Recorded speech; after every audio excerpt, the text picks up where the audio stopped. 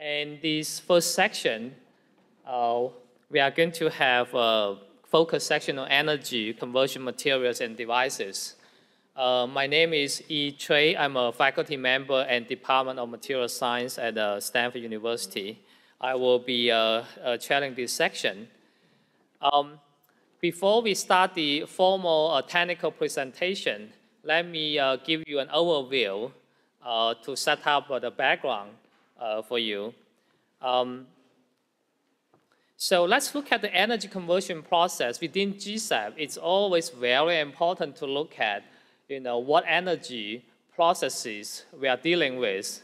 If you look at the, how the energy flow, these uh, um, four type of fundamental carriers uh, exist. We think about you know, all the time. Photons, electrons, phonons, ions, atoms, and molecules.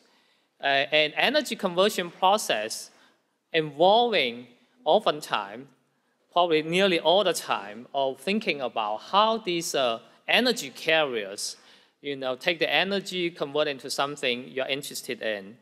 For example, this is where the solar cells and uh, LED, you know, uh, we should think about right here, electrons to photons, photons to electrons. And uh, electrons and ions, atoms and molecules, that's uh, the, for the batteries, for the uh, fuel cell, for the catalysis. Um, and electrons and phonons, we think about, you know, heating, cooling, thermoelectrics, and, and, and so on. So underlying this is really, uh, you know, uh, get this process going is the materials and devices. And to have the next generation of breakthrough technology, materials, devices, and their interface the one, you know, we need to tackle all the time. So in the past, looking at the GCEP's uh, funding uh, uh, project, uh, uh, and uh, materials and devices are essential. And for example, the batteries one, that's the one I, I work on uh, very closely, coming up new type of materials such as nanostructure to enable next generation of batteries. And catalysis, you know, uh, finding new materials, understanding their interface to make the catalytic process more efficient, having the low-cost uh, catalyst uh, coming in. And uh, fuel cells, you know, uh, uh, how do you uh, enable, uh, you know, high power, efficient, uh, for example, oxygen moving and the solid oxide fuel cells right there. And interface control, and this example is silicon passivated by really thin layer of um, titanium oxide using atomic layer deposition uh, only a nanometer or two also can protect the semiconductor underneath, so nearly perfect interfacial control.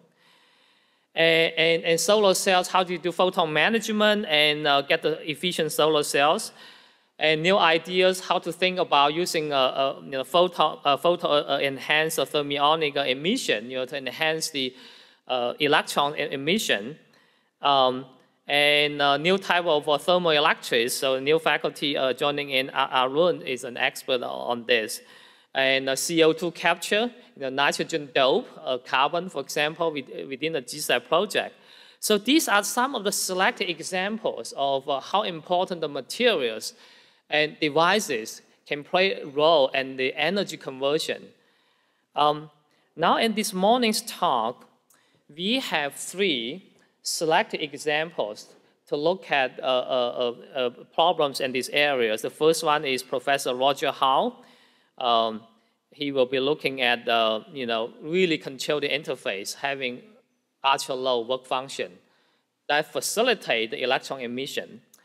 And uh, Professor uh, Robert Braun uh, really looking at the device and even the system level to rethink about what innovation you can do to have this new idea of solid oxide flow batteries. So it's like solid oxide fuel cells and the flow batteries are, you know, hybrid. And Professor Zhenan Bao um, and uh, is looking at a new type of uh, polymer for uh, a next generation of batteries, as well as you know, CO2 uh, storage uh, capture. Um, let me give you a quick overview what might be included in uh, these three people's talk. So um, uh, uh, Roger, and uh, along with his colleagues in the past several years, has been working on this problem. Try to think about how do I take the electron out of a solid you know, uh, with uh, minimum energy to tune the surface work function. That's the, the, uh, that's the, uh, the key thing of the game. And uh, in order to do that, so uh, he teamed up with uh, uh, Jens Norskov and, and doing a DFT calculation now to find the new materials. You can code onto the interface to enable ultra low work function, yet at the same time, still uh, maintain a, a, a stable uh, surface right there, allow you to really run the device over, over many, many cycles over the long, uh, long term. And, and coupled together with this will be the experimental testing. So he will be telling you about this. Second example is uh, from uh, Robert Braun. And, and these uh, um, schematic drawing pretty much giving you the idea, you know, and, and to do the marriage of fuel cells and uh, flow batteries. Now, when you do fuel cell, it's not, you don't think about rechargeable fuel cell. You just take the fuels coming in, convert it into electricity, and that's it. And the, uh, for the flow batteries, you can uh, rechargeable back and forth. Unfortunately, those redox couples and the solution still very high cost, not enough energy density. Now, and, uh, uh, and Rob was told you are going to learn about, they are going to come on new type of fuels that's used in the solid oxide fuel cell, but can be done in a way like a flow battery rechargeable uh, uh, fuel cells. And uh, Zhenan will be talking about uh, you know, the polymer um, um, she's uh, applying into the new type of application. And, one example is the cell healing ideas based on her group's research in the past several years, how to do you do the skin cell healing. Using those ideas, she uh, apply into the very challenging problem in, in the battery. For example, in the, in the case of silicon, volume expansion is huge. The breaking is a big problem. How do you use a self-healing polymer? Even they breaks, but these uh, electrodes self-heal, maintain the um, um, uh, long cycle life. So um, with this, let's uh, start with the first talk uh, by uh, Professor Roger Howe. Um, so let me just mention briefly Roger, uh, 10 seconds. Um, uh, Roger is a, professor in uh, electrical engineering at Stanford University. So uh, we stole him away from Berkeley um, nearly 10 years ago. Um, and he and I joining the uh, Stanford faculty at the same time. We all migrated from uh, Berkeley to Stanford. Um, so um, he's certainly an expert in MEMS uh, uh, several years ago, he uh, started to work on energy problem. That's when he started this you know, thermionic emission idea. He's a member of National Academy of Engineering. Roger. Thanks. Good morning. It's um, uh, uh, early, and in fact, uh, we have competition. Uh, my colleague in electrical engineering, Eric Pop, is doing Thermoelectrics 101, a uh, short course uh, in parallel. This is, um, in fact, a, a, a research uh, project with Jens Norskov in uh, chemical engineering and Piero Pianetta in uh, SLAC and EE. The, the target, however, is not thermoelectrics with our low work functions, it's thermionics. So uh, let's uh, uh, uh, dive in, and I'm going to give some motivation and background because, in fact, uh, thermoelectrics are a well-known technology advancing through the efforts of GCEP funding, making a major impact. What about thermionics? It's a century-old technology. There is a, um, it's basically a diode. The anode or collector's work function is, is critical uh, in uh, the efficiency of this device, and that would be a target. Uh, there's also the uh, emitter or cathode, and that work function uh, is, is somewhat less critical, but some of this work could be dual use uh, for either electrode. we've spent a lot of time working on alkali earths and, and computational modeling. Uh, also some breakthroughs in uh, modeling the emission current from first principles, which is a, a first uh, in addition to the uh, work function. Sometimes you have a, a, material with a superb work function, but an incredibly lousy uh, emission current density. So that uh, the ability to compute that is important. We're working on some alternative anode approaches, and I'd like to wrap up with future pro prospects for thermionic energy. So here uh, is an expanded view of this uh, very simple idea of heating uh, uh, typically a metal, uh, though I'll indicate some breakthroughs and alternatives to metals for the cathode. Uh, and uh, simply collecting those emitted electrodes at a, at a, material at a different temperature, cooler temperature, and different uh, work function, you have something that looks like a, a, photovoltaic cell in that it gives low voltage and high current. if we do our energy band diagram, uh, we see that our output voltage, ideally with no uh, losses, would be the difference between the emitter and collector uh, work functions. Therefore, the collector or anode work function uh, needs to be minimized. Uh, the Richardson-Dushman law uh, developed in the previous century, that constant A is important as well on the, um, on the cathode. Um, there are uh, issues in radiative heat transfer I'll go into in a minute because of the large temperature difference. Um, there's also losses through the leads, through the interconnects that would uh, hurt your efficiency. So through the 20th century, there, were, uh, there was a tremendous uh, development in thermionic uh, converters. The basic concept, uh, Schlichter in his PhD thesis at Tübingen almost 100 years ago, uh, introduced in an appendix uh, the concept of a, the thermionic converter. Uh, Soviet uh, researchers in 1941, uh, in fact, uh, the first work is in World War I and the second in World War II.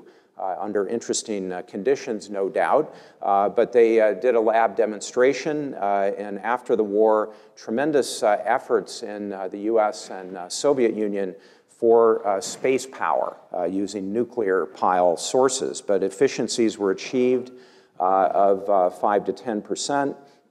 Ultimately, um, there was a conference in 1968 where the communities decided they were efficient enough at 20 percent uh, for their uh, space applications. Um, just to show you that these uh, existed, uh, the, this is a Topaz 2 built uh, by the Soviet Union, flown uh, 27 years ago on a naval reconnaissance satellite. And uh, it's a six kilowatt uh, nuclear reactor uh, wrapped with a thermionic converter. Some materials issues being wrapped around a nuclear pile. Uh, and in fact, after the Cold War, we leased uh, a dozen of these and tested them.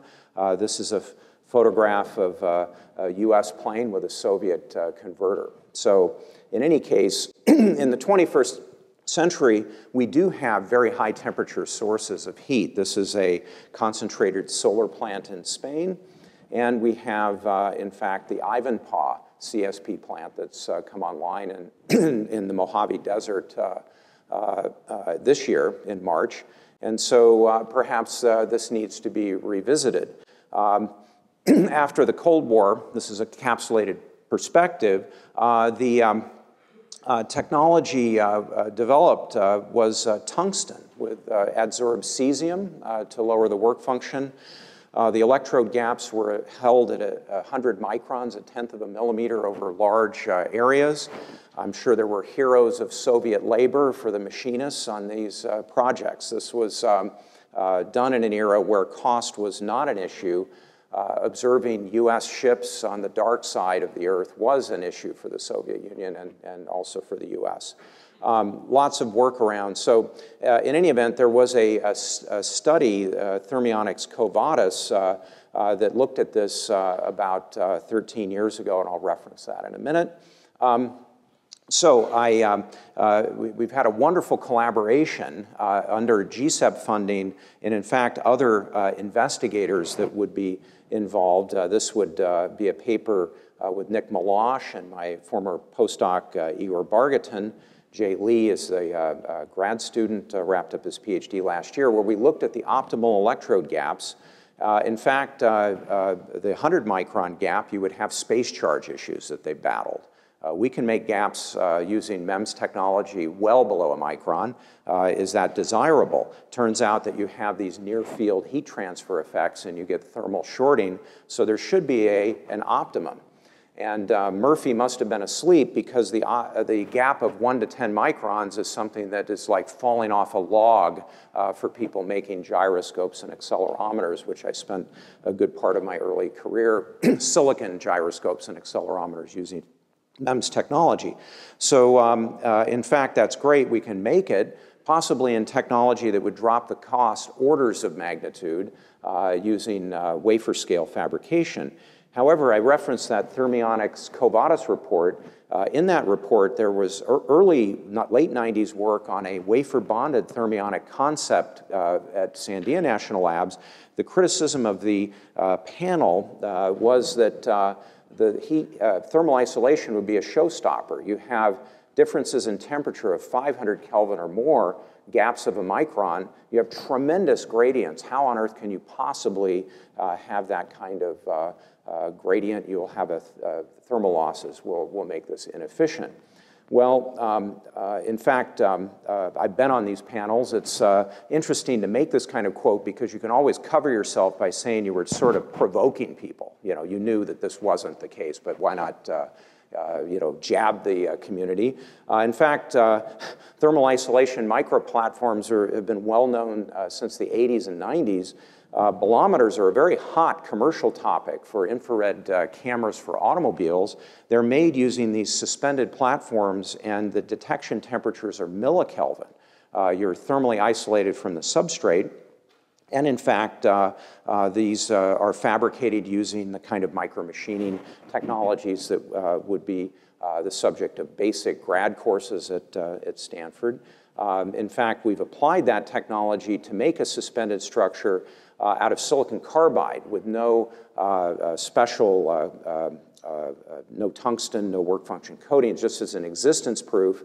And in fact, we, we ran it as a converter using the sub, silicon substrate as the anode um, uh, what would the converter look like on the Ivanpah Tower? Massive arrays of pixels, uh, uh, possibly individually addressable. Uh, EEs uh, like that idea. Uh, we can do some interesting things with access to that at that level. So um, actually, optical heating of this, we don't have any problem going incandescent and keeping the substrate quite cool. and so thermal isolation in a vacuum is a non- uh, issue. In fact, vacuum um, is also a non-issue. I think there, there may be some uh, interesting uh, practical challenges for long-term reliability, but in your pocket you have a, a gyroscope chip, if you have an iPhone, uh, that would be made using wafer bonded seals uh, using uh, basically a variant of MEMS technology. So the, the um, ability to fabricate this is uh, not a problem in principle from my perspective. Uh, unfortunately, the, uh, the materials, uh, silicon carbide is not a candidate. It may be a structural material. If you look at the efficiency of uh, uh, the um, thermionic converter with the cathode temperature on the x-axis and efficiency, the, these are ideal efficiencies without losses. This is the collector or anode work function. Going to very low work functions is important. Nanocrystalline diamond has been under one electron volt. Uh, uh, in fact, uh, uh we have, uh, uh, will report things that are on the order of one EV, and these efficiencies are, um, in fact, um, in, context, we may be a topping cycle on that Ivanpah plant. We may not replace the conventional heat engine. Our reject temperature could be quite high. So in any case, how do we find these materials? And now we get to this particular critically important GCEP uh, uh, grant um, uh, because, in fact, uh, people have made, uh, there's a whole industry with electron sources, SEMs, electron beam lithography, instruments of all kinds, and uh, these are often made with a tungsten base metal, typically not crystalline, coated with a mixed oxide, alkali earths, barium, strontium, calcium, uh, sort of mixed up in, uh, uh, in a mortar and pestle kind of fashion in some cases and, and uh, deposited in interesting ways uh, with uh, migration into, into the grain boundaries and ultimately a very complex process leading to electron emission and low effective work function. So what um, uh, this project uh, proposed to do is look at this from a systematic point of view and uh, in fact, we have the um, uh, question of where to start. Uh, the most favorable, most stable configurations uh, have, in fact, uh, the x equals 4, and so we focused on those. Um, I will go into a lot of simulation in the next uh, slides. It's just recently been in the literature with several papers with my student Sharon Chou as the lead author. the, um, um, but, but in context, uh, uh, the fabrication technology where you would engineer the composition of these would be, in, in, from my perspective, done using atomic layer deposition which is a very powerful tool. Uh, we are currently depositing strontium oxide on uh, tungsten as, a, as a, for example, but there's work in the literature where you would nano-laminate these materials between strontium and barium and, and calcium and uh, uh, then uh, do post-processing to sinter and dial in that composition uh, uh, very, very tightly. So focusing on, on, on this set, we still have a lot of a lot of simulation to do because we have our, our basic uh, alkali earth is calcium, strontium, or barium, and we can dope that. In the literature, there's uh, a lot of work on uh, adding things, lithium and, and other uh, metals. So what um, um, is, is showing here is a, is a virtual atom that could be a blended composition of the uh, pseudo-potentials of these uh, three atoms as a, as a shortcut. And uh, obviously the unit cell that's being simulated is important to minimize that. Uh, and it was uh, very important to have access to the SunCat uh, cluster up at SLAC that Jens Norskov would be in charge of. This is a very serious, big, big iron kind of computer. So if we basically uh, what uh, we have this uh, unit cell. what we would like to do is identify dopants that would um, uh, dopants and compositions that would uh, drive us in two directions. We want very large negative formation energies for stability. Uh, there are things like dispenser cathodes that spew out some of these materials. We want a rock solid, stable material. Ideally, for those that are, are in the electron emission business, we would not want cesium in this. Uh, that's a difficult material to, to deal with, and, and can we do it with simply our mixed oxides? So we're uh, driving in a direction of low work function and uh, stable uh, formation energy. And if you look at the various dopants we can add, uh, they have effects that would uh, often be useful. So we would be focusing on ones like scandium and lithium that would um, make this material more, more interesting as an emitter. So there, we're, we're faced with a large triangle of potential compositions. and how, does, how to deal with these simulations? Well, Sharon Chou, uh, my uh, uh, first student who has not gone into a bunny suit into the uh, uh, nanofab in my entire career, though an EE, uh, looked um, at basically doing it brute force with the actual atoms and expanding the unit cell. And this um, leads to around a week runtime. the virtual crystal approximation shrinks the cell and you get down to hours. And in fact, uh, the differences uh, in, in, some test cases are rather minimal. So there's an incentive to just uh, get started. And, uh, and of course, the, the blending of these pseudopotentials is very important in order to get uh, uh, the, both computational feasibility and uh, benchmarking against experiment uh, uh, to get accuracy. So Sharon's process would be, would be to get the atomic orbitals, generate smooth pseudopotentials from the, these orbitals, check the answer, reformulate, and repeat. Fortunately, you can write scripts to do this, assuming SunCat isn't crashed by your activities. And she did have her hand slapped for excessive uh, consumption of uh, SLAC's computing resources. Nevertheless, it was a, a, a very, very interesting result. Uh, what, what are we showing? Uh, we have um, the pure mixed oxides with all compositions, uh, with work functions and formation energies, adding scandium and lithium doping. And this is work functions and stabilities, 570 total comp combinations. So what this does is short circuit a massive amount of experimentation. And uh, uh, uh, at the uh, Three Beams conference, uh, which is where the electron beam people hang out, uh, this is um, of, of, great interest. they have been mining the, this for a number of years using technologies that are not as controlled as ALD.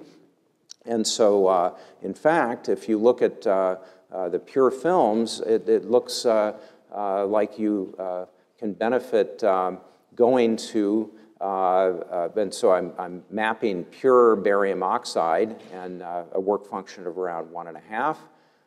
And um, in fact, if you look at um, what calcium is doing, calcium, the addition of calcium is in fact driving the work function higher. Um, However, it's making the formation energy lower, so it's a uh, kind of counter effect. And so you, you may be able to see adding a pinch of calcium uh, to get that surface stability while maintaining the low work function. Now, there is an experimental ratio here from a, a paper uh, about 13 uh, years ago. Uh, and so we would be um, uh, uh, benchmarking in the very limited experimental data. A lot of this is proprietary, actually, in the industry. So if we add lithium, we can get work functions of 1.2 eV, and as stable uh, as the pure material. I'm going to click through this uh, quickly. The, um, uh, and, and so it looks like we have something that could be a potential candidate for a, ca a, a cathode material or an anode material. The um, uh, understanding of this, um, I'm going to uh, look at, um, uh, you can read the details in the paper, work function as, effect, as a function of the effective offset of the, um, uh, this uh, uh, synthetic atom from the oxygen at the surface. And um, in fact, that uh, could be uh, a physical insight in how you can control the work function. So uh, in any case, where are we okay, in, the, in this? Uh, this was uh, shown earlier. if we indicate our lowest work function at 1.15, uh, we are getting uh, efficiencies that are in the range of 30% ideally. Uh, again, uh, we may not be rejecting the heat at 300 Kelvin, it may be a topping cycle, but uh, compared to their initial uh, work functions and without cesium, I think this is a very important breakthrough. We would be gearing up to do this experimentally. Um, a uh, uh, along the way, uh, there were a lot of discussions on the inability to simulate the current density using density functional theory. Johannes Voss at uh, SLAC uh, and uh, Frank Abel Peterson developed a way of extending the, um, the supercell into the vacuum and, and, and adding a decoupling region to the lead, to the interconnect, and essentially first principle simulating the current and benchmarking that against experiment. So now we have the whole uh, basic function of that uh, uh, um, high temperature material, work function and Richardson-Dushman coefficient uh, for the first time on the, um, uh, uh, our ability is to simulate that to compute before we do the fabrication. lastly, another paper with Johannes would look at the uh, lanthanum hexaboride, which is a standard uh, uh, cathode material with a, a, layer of um, barium hexaboride, you're able to lower the work function by 400 millivolts without any dipole barrier. So um, one challenge in, in uh, talking over uh, uh, with, you know, can we go synthesize this uh, that um, uh, has proven to be challenging to, to do what would amount to be a, uh, an epitaxy of a monolayer uh, is, is currently beyond our technology. But this would point in a, in a uh, new direction for getting materials that are, are fundamentally higher performance, maybe lowering the working temperatures substantially. Finally, we've, we've worked on other ways to lower work functions.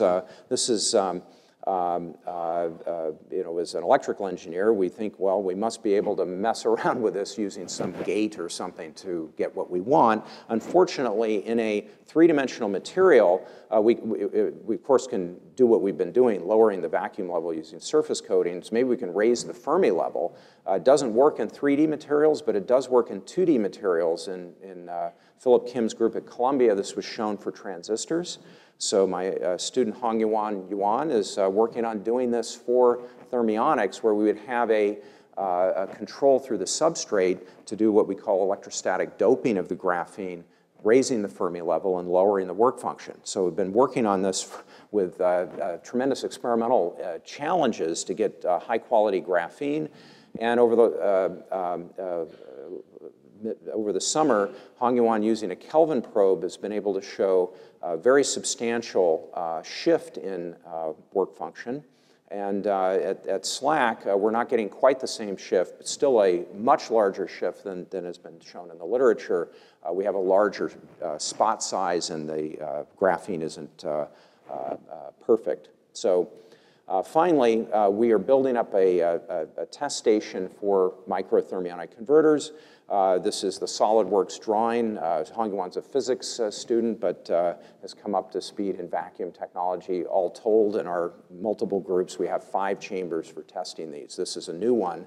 And, um, and so wrapping up, what are the prospects for wafer scale thermionic energy converters? Say wafer scale, these uh, uh, chip-based technology, MEMS technology? Well, I think they're very simple devices uh, that uh, uh, have some very challenging materials uh, issues, high temperatures. Uh, there would be a large push in MEMS to go uh, embrace silicon carbide. my colleague Debbie Senesky in Aero and Astro would be working on high temperature sensors for combustion and uh, uh, gas turbines, uh, that technology very much overlaps with what we would need in thermionics. Um, uh, so I don't think the technology is an issue. I think the, the, the, project has made a huge whack at the materials challenges and kicked off something very, I think, very exciting. Nick Melosh isn't here today because he's in Houston at a NASA conference on thermionic energy conversion. Uh, that would be uh, where I would be if I wasn't giving this talk as well. Because I think what has been happening in, in GCEP and overlapping uh, pro projects is uh, uh, very exciting. So um, lastly, the photon-enhanced thermionic energy converter, which was Nick and his student Jared's uh, Schwede's invention a few years ago, would use a semiconducting photocathode. All of this work on the anode is valuable. Uh, uh, for the PETE converter as well as the straight thermionic converter as we, as we call it. So uh, that is a, uh, uh, exciting thing. So uh, I'd like to wrap up. GCEP has played a critical role in, in enabling this simulation project. Frank Abild-Pedersen, a senior author, the resources of Jens Group and Sun Cat have been critical. Uh, and my group on the experimental side, uh, Sharon is now at First Fuel, uh, a uh, energy efficiency company. She finished her PhD. Uh, Igor is a professor. Jay, uh, a CEO of a startup. And Nick and ZX's group would be part, we have a large overall thermionics meeting and separate meetings. This has been a very exciting research project, and GCEP has been absolutely critical to uh, kicking this off. Thank you.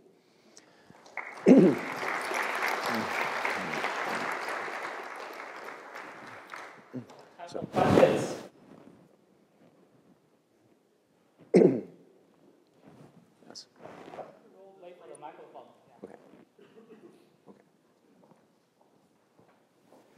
How big a role does radiation heat loss play between the emitter and the collector?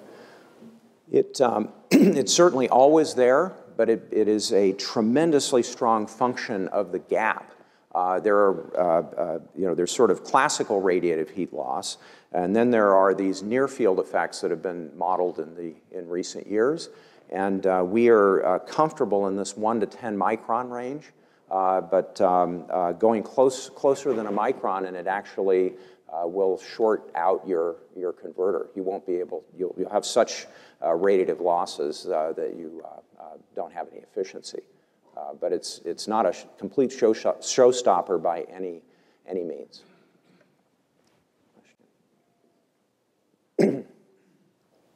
If you treat it as a topping cycle, is it the same efficiency just with a smaller uh, amount of the energy, or do you actually increase the efficiency for like basically that portion of the energy that you're going after? It would be an interesting complex optimization problem. And uh, uh, we went up, uh, Nick uh, and I, to uh, BrightSource, uh, the Ivanpah designers, and they would be very interested on when this is coming online. There's tremendous efforts on the primary heat engine. If you have from left field something out of uh, almost the semiconductor industry that you could uh, put on, the, on that tower as a topping cycle, maybe it takes some pressure off them. But uh, uh, the numbers would be really encouraging if you give it a, even a 15% boost. Uh, that, that really matters. Um, uh, so it's a, uh, a work in uh, progress. I might mention that uh, Jared has won something interesting from the Department of Energy, the M37 program at Lawrence Berkeley National Lab for incubating ideas that need more time uh, but have tremendous commercial progress. So he, uh, pro uh, promise rather, and he proposed thermionic converters and, and won. And so he's looking forward to wrapping up his PhD and heading up there, possibly with Dan Riley tagging along. He's in, in uh, Nick's group. So I think it's um, uh, something that I, I have uh, spent a lot of time talking on the overall picture because perhaps uh, uh, that might be not as familiar as other energy conversion. Uh, with the centenary coming up next year, I think it's high time that we Uh, uh, uh, really apply some push in this as a complement to other energy conversion technologies. So. Oh, oh, okay. so the graphene idea is really interesting. Mm. The, can you hear me? Mm. We we have the the chairs. Oh, uh, can so the uh, graphene idea is pretty interesting, using the gating mm-hmm. to change the work function. Uh, how much can you do at the end? Uh, because of gate coupling, uh, eventually uh, will have a limit. Yeah. Well, it um, it would be with this, and I forgot to mention that wasn't, it had no dipoles or anything, so the work function is way too high in, in graphene uh, to vacuum. We need to put something on it to drop the work function, then yank it around electrostatically. Um, we think we can uh, get under one EV. Uh, so, uh, the, and the voltages needed were not particularly high. Uh, and there's no current, of course, if you know. And, and the anode is relatively cool, so you don't have to envision this operating at uh, outrageously high temperatures. Uh, Hongyuan is very much interested in, in pushing that. Okay. Let's thank uh, Roger again.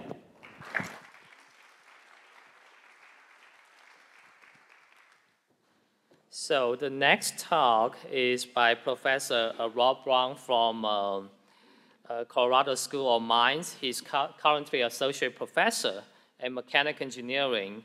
Um, his uh, experience uh, compared to most academias uh, uh is unique. Uh, he worked in industry for uh, 10 years, and he's going to tell us about this new idea of novel solid oxide flow batteries. Rob.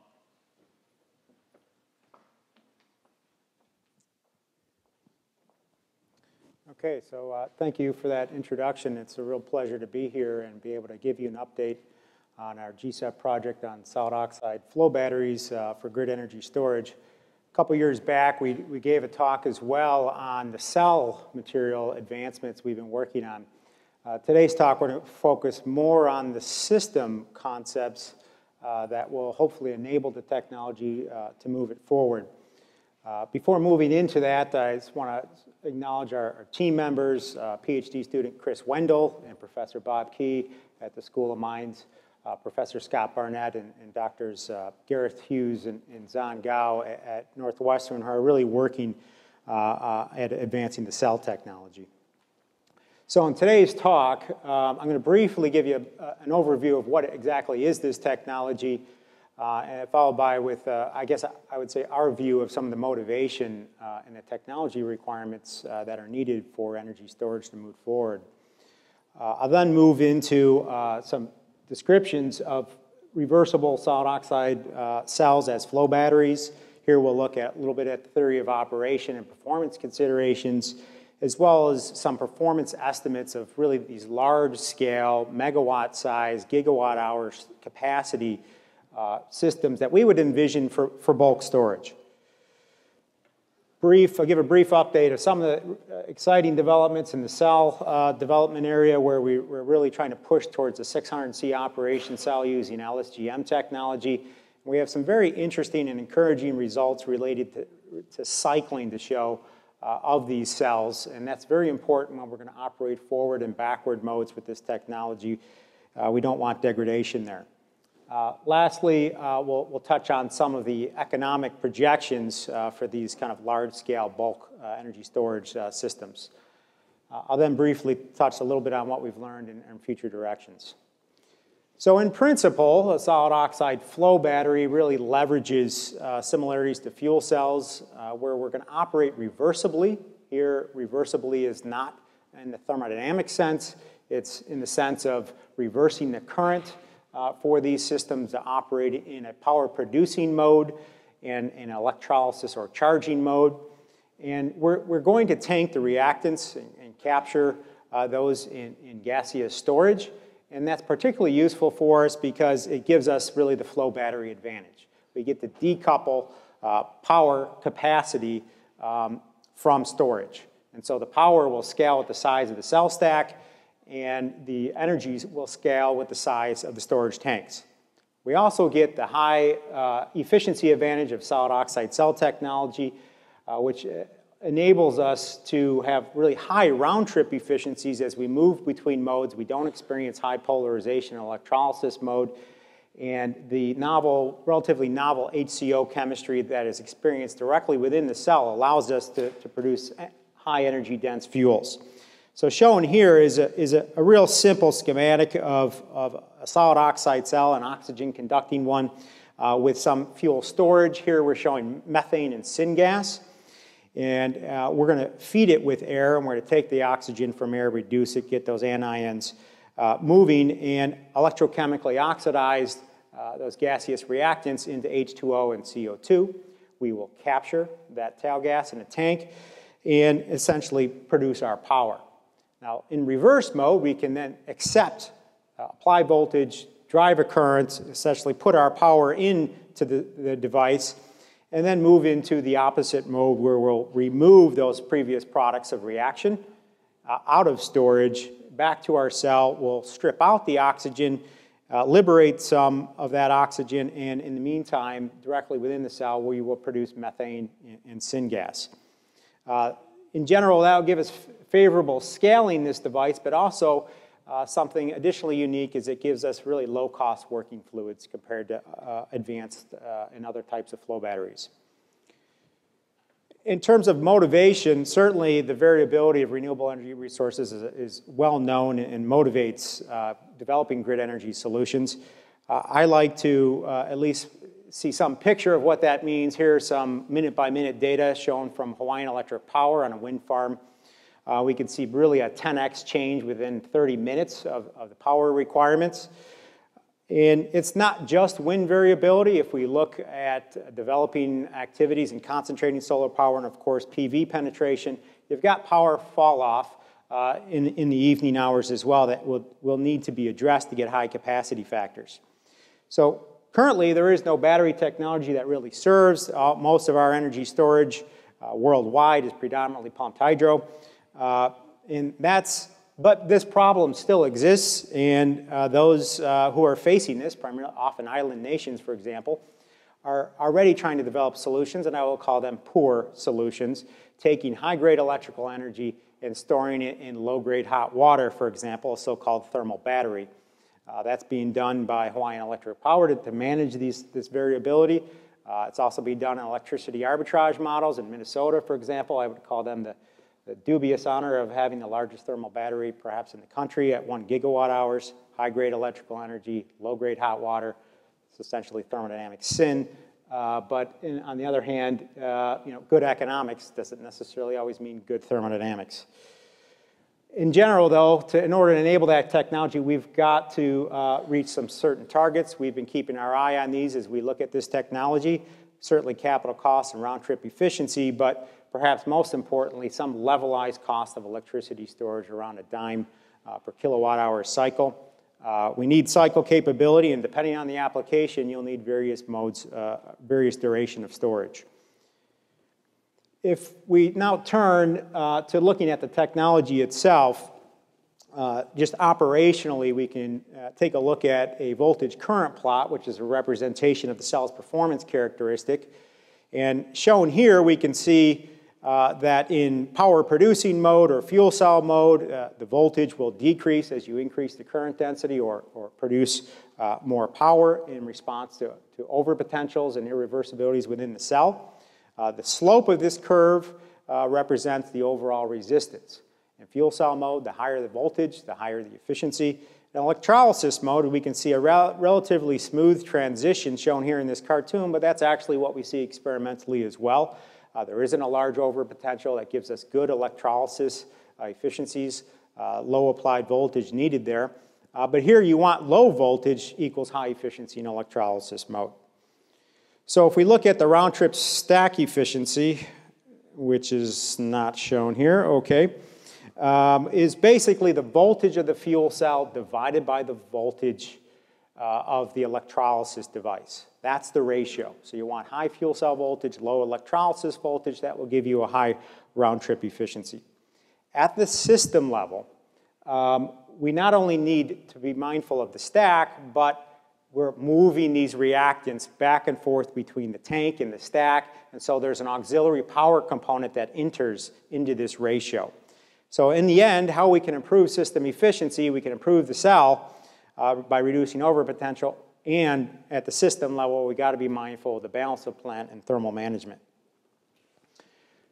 And when we look at thermal management, one of the unique attributes here is by doing methanation locally, within the cell in, an electrolysis mode, uh, we're, we're able to attain low electrolysis voltages, get towards a thermal neutral operation uh, as well. So when we look at a fuel cell, it requires heat rejection. We're air cooled. Uh, we're operating at relatively high temperatures. But in electrolysis, this is of course an endothermic process. It requires a heat source. As, and we can see that when we reduce H2O, that's, that's certainly the case.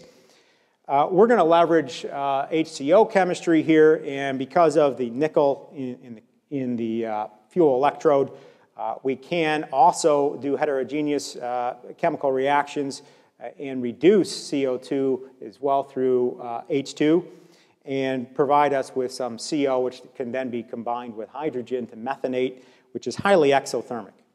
Okay? And that's very nice for us because we have an exothermic local source where we have an endothermic process. We've got good matching of sources and sinks there.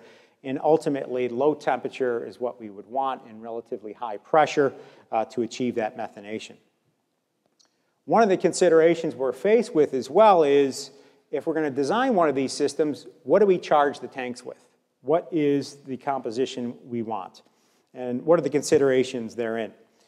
So in these systems, we have to be concerned about carbon deposition. This is a deleterious effect on, on, on solid oxide cells, uh, and it degrades their performance rapidly should that happen. So shown here is, uh, in the right, is essentially a compositional space used in a so-called Gibbs diagram or ternary diagram, where the shaded area above the red indicates the thermodynamically favorable region for carbon deposition to occur.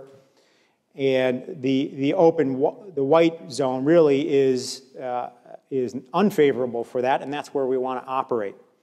So uh, in doing so, you can see the red dot up here is uh, where we might start on a hydrogen-carbon ratio, uh, oxygen ratio for, for fuel cell mode. As we oxidize the fuel, we'll move towards this fully oxidized region shown in the light blue and we don't really want to be fully oxidized. In this system, we want to be not fully oxidized and not fully reduced. This is our operating window, if you will, to move back and forth.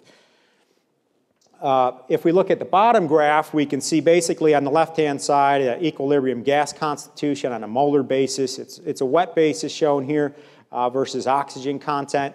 And we can basically move back and forth uh, between shown here between 4 and 40 percent uh, oxygen conversion, which will allow us to have fairly high storage capacity. Uh, we can produce uh, methane uh, in a 60-40 ratio with hydrogen here on a dry basis. And at this end of the cell, so basically as you produce in fuel cell mode, you'll see us reducing the CH4, producing H2O. These, of course, will be tanked for electrolysis mode. So one of the proposed uh, applications we've been looking at is really bulk storage. Uh, to, in order to get there, we need very large tanks. And very large tanks can be realized with pressurized underground gaseous uh, storage of our reactants uh, using salt caverns, for example, natural gas reservoirs, saline aquifers. Uh, and so we're, this concept is actually being very seriously considered, particularly in Europe, um, in, in, Germany.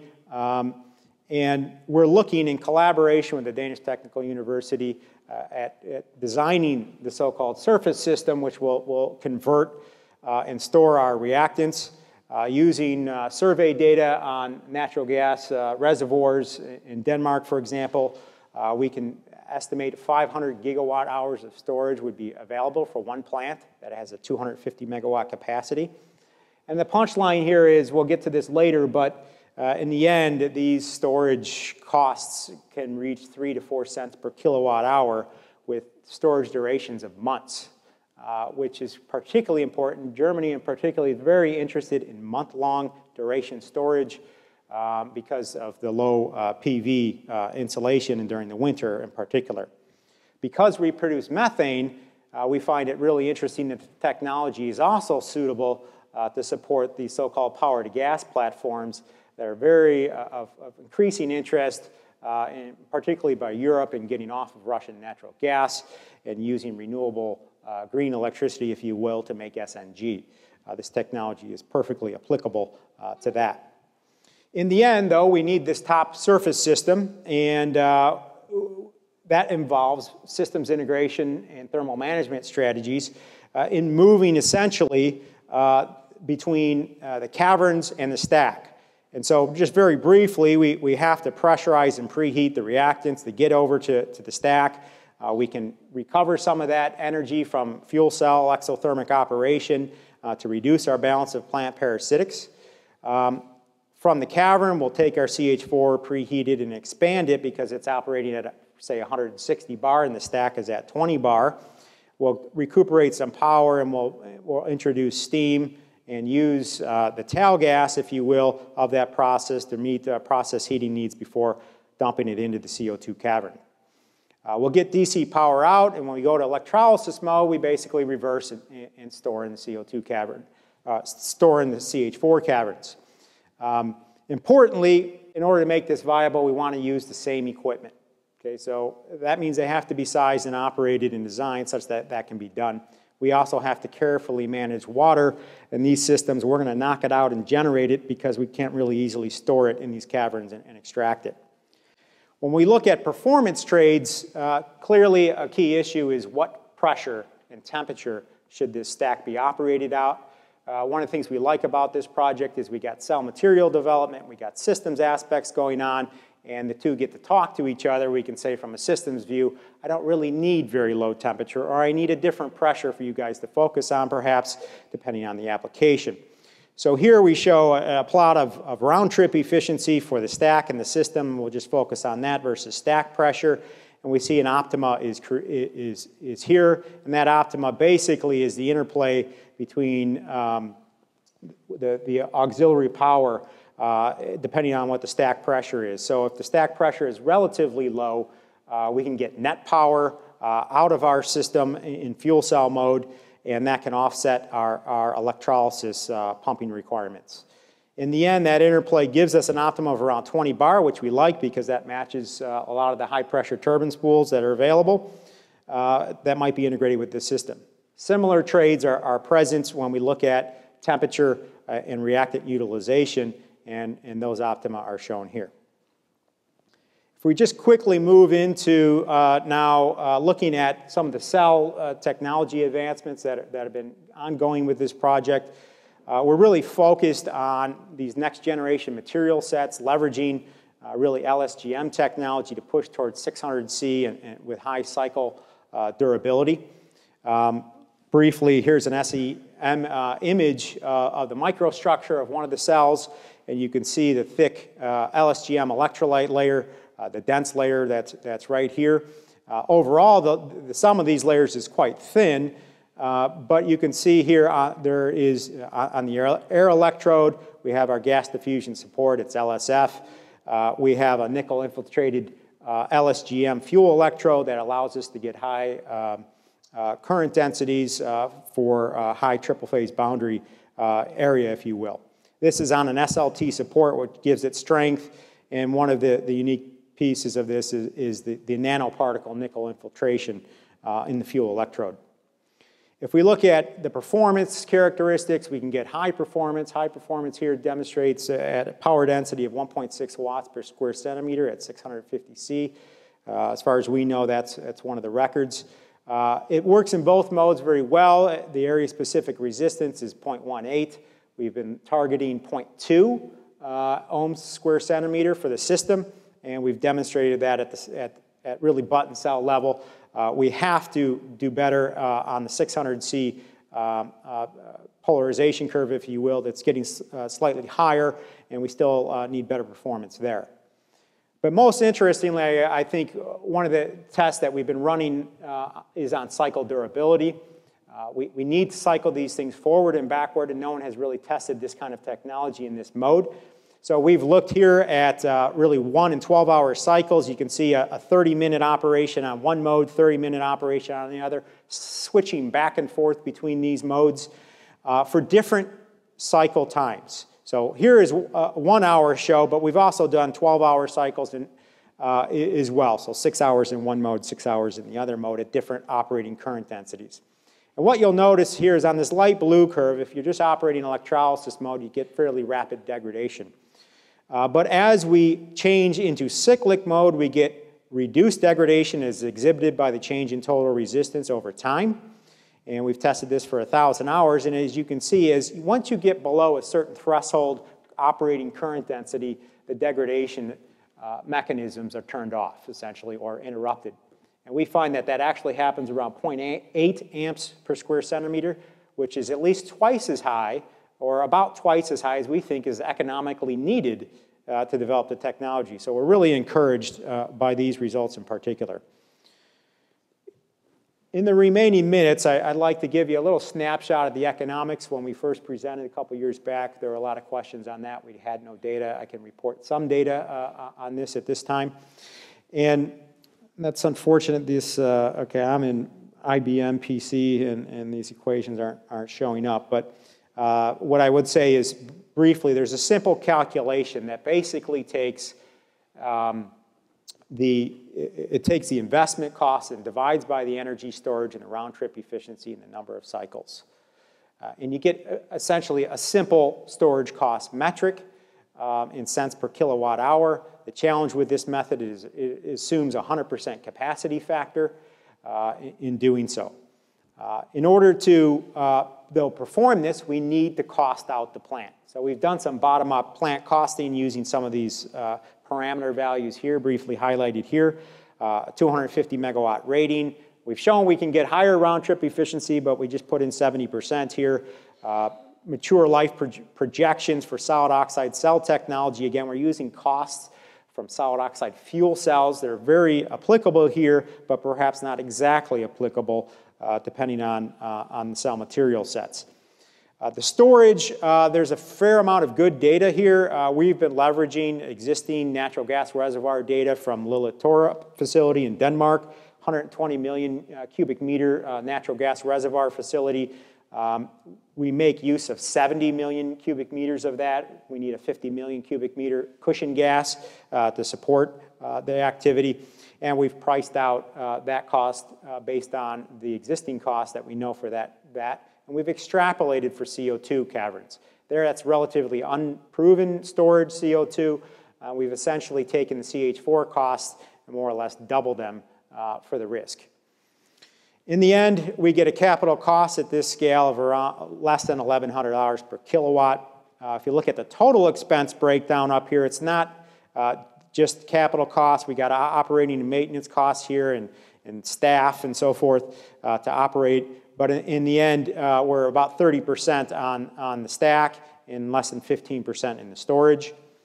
This simple costing method then allows us to get us around 3 cents per kilowatt hour on storage costs with this method, which if you look compares favorably against compressed air, air hydrogen, and, and pumped hydro in these other bulk storage categories. Um, we think that's uh, perhaps a little too simple, and uh, more we could leverage instead um, the resources of this storage facility uh, using electricity uh, spot market prices and, and essentially uh, using supply and demand characteristics uh, of the grid market and do essentially market arbitrage to buy and sell power, essentially buy power cheap, charge your system, and sell it uh, when the price of electricity is high.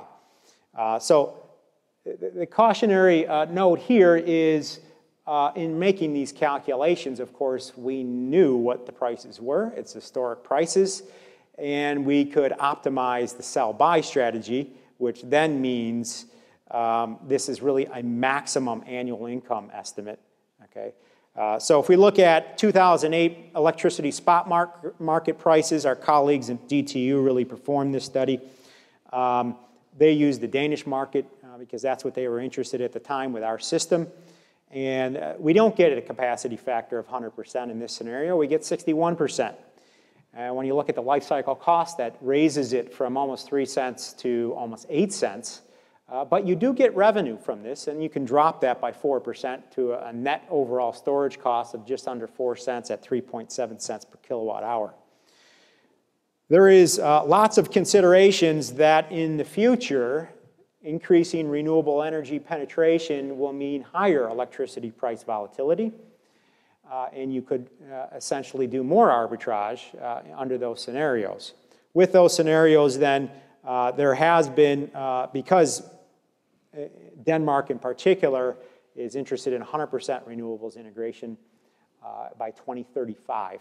Uh, they are very seriously looking at then the price impact on their markets, and they have done scenario forecasting. We've used those forecasts with the 2008 buy-sell hour uh, strategy, and we show that under that, and shown here in the red curve, is the buy-sell strategy and, and, the price spot market prices that might be expected in the future with high penetration. You could actually make money with electricity, electricity storage. Again, this is maximum, and of course, there's lots of uncertainties here. But it does suggest that if you, even if you weren't perfect, you might end up as zero cost on storage. Okay, so to wrap up here, uh, the, we see that there are a lot of markets uh, that we could enter within this technology. Not only this so-called power gas platform, we can do bulk storage, and more recently within the project confines, we're turning now our attention to distributed uh, scale storage that will compete with advanced flow batteries and sodium sulfur batteries uh, in, in the kilowatt hour to low megawatt hour uh, ranges. There's a lot of work that certainly needs to be done yet. We need, really need to push the envelope on the operating temperature further with the LSGM technology. The results shown here are for small scale cells. Okay? Cell scale up is always a challenge, uh, and that needs to be done. Uh, long-term stability and durability testing, we have to operate in cyclic modes with the actual reactant gases we envision. And of course, if you're going to run this thing eh, up and down, you need to know something about the dynamics of the capability uh, of the system. So with that, I'd say we've learned a, a fair amount. We believe we can get fairly high round-trip efficiencies. Uh, we can even get above 80% if you can integrate thermally with uh, uh nuclear CSP, for example. Um, and regardless of, how we, estimate the economics, we think they're much, they're very attractive and can meet or exceed the DOE targets. With that, I'd like to thank some of my collaborators and open it up for. Questions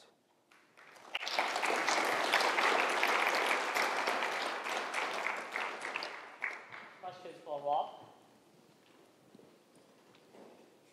You can do the back first, so uh, yeah, that's easier. Yeah, I have a question about uh, if you guys have any problems with select. Sorry, here. Okay. with Sorry. selectivity when you're running in electrolysis mode. to, uh, converting the CO2 to methane? Do you have any issues with making C2s or, you know, products that you don't want? No, actually, the, the electrodes are catalytically active enough that they reach equilibrium rapidly with, with, uh, without even pulling out oxygen.